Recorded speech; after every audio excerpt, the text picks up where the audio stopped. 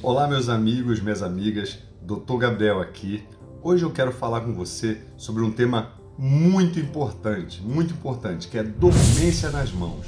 Alguns estudos mostram que mais de 10% da população mundial sofre com dormência na mão. E hoje mesmo eu acordei com dormência na minha mão. Eu acordei com esse lado aqui sem sentir e não conseguia mexer toda a mão. Isso é uma das causas de dormência na mão. Eu vou falar com você hoje sobre as seis causas mais frequentes de dormência nas mãos que você precisa ter cuidado. Algumas são mais graves, precisam de um tratamento para ter um resultado mais rápido de cura, para não ficar uma coisa muito crônica. Então, por que, que eu senti essa dormência na mão? Eu dormi dessa forma aqui, com, com o cotovelo bem dobrado e apoiado aqui embaixo. Quando você faz essa flexão exagerada, né, dobra muito o cotovelo, tem uma região aqui que é um osso, que é o húmero, né, e tem um sulco, tem um, um abaulamento assim onde passa um nervo, que é o nervo ulnar.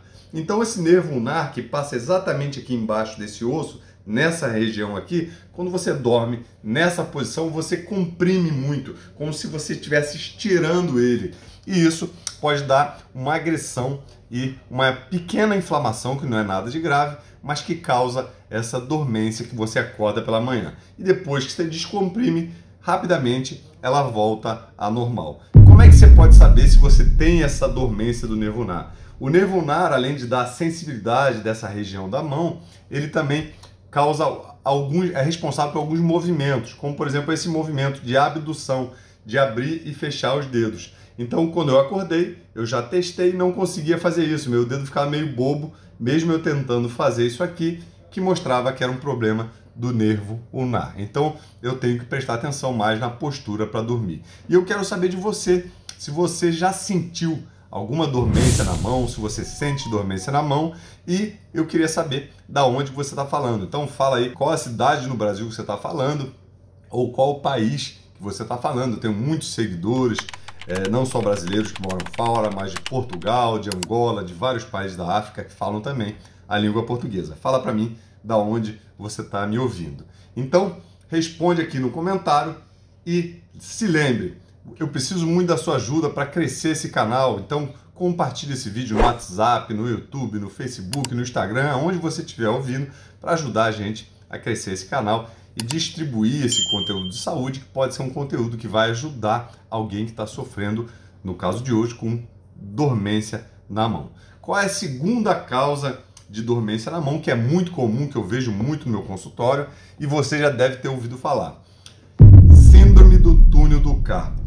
O que, que é isso, esse palavrão aqui, síndrome do túnel do carpo? É um túnel ósseo que tem aqui na mão. Então a anatomia nossa faz um túnel aqui que é onde passa alguns tendões flexores que fazem isso aqui, né? Que fecham a mão, fecham os dedos e passa um nervo muito importante. Esse nervo tem o nome de nervo mediano. E ao contrário do nervo ulnar, que dá essa sensibilidade nessa região da mão aqui, o nervo mediano dá sensibilidade nessa região aqui da mão, perto do, do lado do polegar. Então, se você às vezes tem de noite, começa com formigamento, principalmente nessa região aqui da mão, até metade desse dedo aqui do anelar. Se você tem essa dormência, pode ser que você esteja sofrendo com a síndrome do túnel do carpo, que aumenta a pressão nesse túnel aqui onde passa o nervo e começa a dar esse formigamento na mão. É muito comum também a síndrome do carpo e precisa ter, ser tratada. Quais são os exames que você pode fazer para ver se você tem síndrome do carpo? Um é a eletroneuromiografia, que é um palavrão também, que você faz vários furinhos como se fosse com agulha de acupuntura e dá um choquinho para ver se esse nervo está sensível. Esse exame pode dizer se você tem ou não síndrome do túnel do carpo. Outro exame que é muito interessante para síndrome do túnel do carpo é o ultrassom. Eu faço no meu próprio consultório um ultrassom, você bota um aparelhinho e você vê a espessura do nervo mediano, desse nervo. E se ele tiver muito grosso, uma área acima de 10 milímetros quadrados, é sinal que ele já tem uma inflamação dele e possa ser a causa dessa formigamento, né, dessa dormência na sua mão. Então, o segundo é, é muito comum, segunda causa muito comum de formigamento nas mãos é síndrome do carpo. Uma terceira causa que eu vejo muito, e muitas vezes alguns médicos deixam passar, não percebe que é a causa principal, é um problema na coluna cervical. A nossa coluna cervical, são os ossos aqui do pescoço, saem os nervos que vão para a mão. Então imagina que uma coluna e um nervo aqui que desce para a mão. Tá vendo os nervos saindo da coluna nessa região. E muitas vezes, como tem uma hérnia de disco, quando o disco faz uma protusão assim, ele comprime esse nervo. Então, comprimindo esse nervo aqui, tá vendo? Ele dá uma compressão, uma, um formigamento que pode descer pelo braço e ir até a sua mão. Então, se você tem um formigamento que desce muitas vezes pelo ombro, desce pelo braço e vai até a sua mão, pode ser um problema da compressão do nervo na coluna cervical que está causando essa dor também e essa dormência na sua mão. Muitas vezes precisa de um exame de ressonância magnética, aquele exame que você vai, se você já fez, entra num túnelzinho e faz muito barulho para ter as imagens exatas dos discos, como é que estão, dos ossos, dos ligamentos, de todas as estruturas do pescoço para ver se está havendo alguma compressão nessa região. Outra causa muito comum e eu vejo muito frequente também no consultório é a deficiência de B12. Eu estava lendo hoje um artigo muito interessante publicado numa é, revista de neurocirurgia de um caso de deficiência de B12 num jovem. Era um jovem autista, com espectro autista, e ele não gostava de comer, não comia de jeito nenhum é, carne vermelha e outras é, fontes de proteínas, contendo também, junto da proteína, a vitamina B12. A vitamina B12, a metilcobalamina, também na forma ativa de adenosilcobalamina, é muito importante para a saúde dos nervos, principalmente para a produção da baía de mielina. O que é a baía de mielina? É uma bainha de gordura que protege o nervo, como se fosse uma aquele fio, se a gente imaginar um fio que tem aquela borrachinha em volta e o, o fio de aço dentro. Então, nosso nervo seria esse fio de aço e aquela borrachinha em volta seria a bainha de mielina. E sem a B12, a gente começa a ter problemas na produção dessa bainha de mielina que pode dar também problemas do nervo muito comum. Então, nesse garoto de 14 anos que não comia é, na sua alimentação boas fontes de vitamina B12, ele começou com parestesia, formigamentos nas mãos e evoluiu com um caso grave, já que ele não conseguia nem ficar em pé, tinha fraqueza nas pernas, não conseguia nem sustentar o próprio peso. Foi feito um exame de sangue e viram que era uma deficiência grave de vitamina B12 e tratando essa deficiência, repondo a vitamina B12, ele conseguiu melhorar. Muito importante, se você fez o exame de vitamina B12 no corpo, esse não é o exame principal para ver deficiência que muitas vezes a, dosagem da B12 no sangue só vê casos mais tardios de deficiência.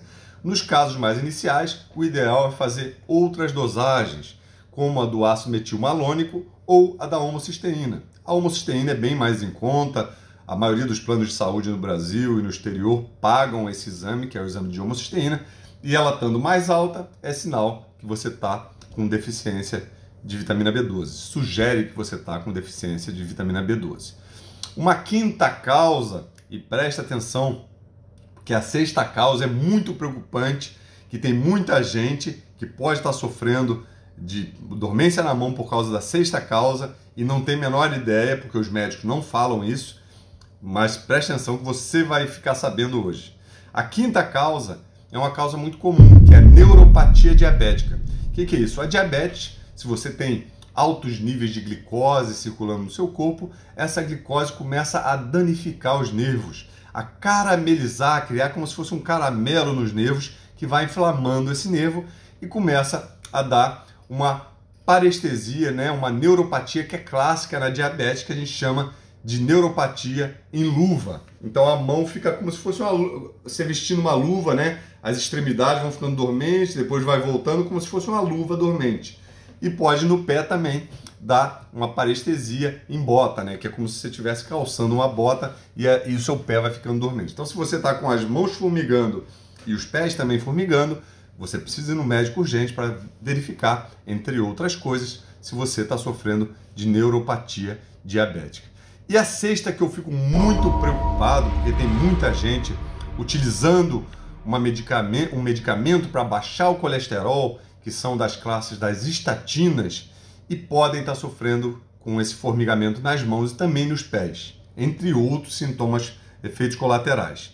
Então, esse medicamento é o medicamento que mais faturou no ano 2021. Ele faturou bilhões de dólares em todo o mundo e são medicamentos que são utilizados para baixar o colesterol. E um dos efeitos colaterais dele, que é muito comum, é a parestesia nas mãos. Por quê? Porque ele dá uma neuropatia. Tem um estudo aqui que eu vou deixar aqui na tela, que foi publicado no Irã, um estudo de revisão muito interessante que mostra por que, que a utilização das estatinas pode causar essa neuropatia, essa doença do nervo. Então é um estudo muito interessante e existem outros estudos que estão mostrando que quando você usa a estatina junto com a niacina, que é um tipo de vitamina B, você diminui a ocorrência dessa neuropatia diabética. Então, se você tem dor na mão ou conhece alguém que tem formigamento nas mãos, pode ser que você esteja com a postura errada, você pode estar com uma compressão no cotovelo, uma compressão do túnel do carpo, que é na mão, uma compressão na coluna, ou até outros problemas fora da ortopedia que podem dar parestesia na mão. Por exemplo, infarto. Muita gente infarta tem essa, esse formigamento no braço, formigamento na mão ou até formigamento no rosto, que pode ser um dos sintomas que você está tendo um infarto, tendo falta de sangue numa área vital do seu coração. Então, se você sofre com isso, muito importante você buscar uma avaliação médica urgente. E se você curtiu esse vídeo, eu vou deixar algumas sugestões aqui do meu canal, vai aparecer aqui na tela algumas sugestões de vídeo que eu acho importante você assistir para realmente continuar melhorando a sua saúde. Muito obrigado por ficar comigo até aqui. A gente se vê no próximo vídeo.